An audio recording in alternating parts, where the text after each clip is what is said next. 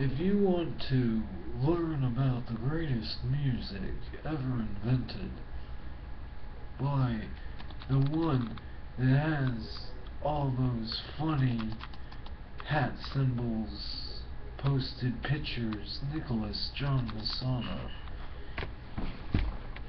Well, you've looked right into the right temple. I'm about to put a level that's a bust beat, size and feet, sinking sword accord, what you see, and what you want to hear is what oh, I think you will endearly like. So please listen.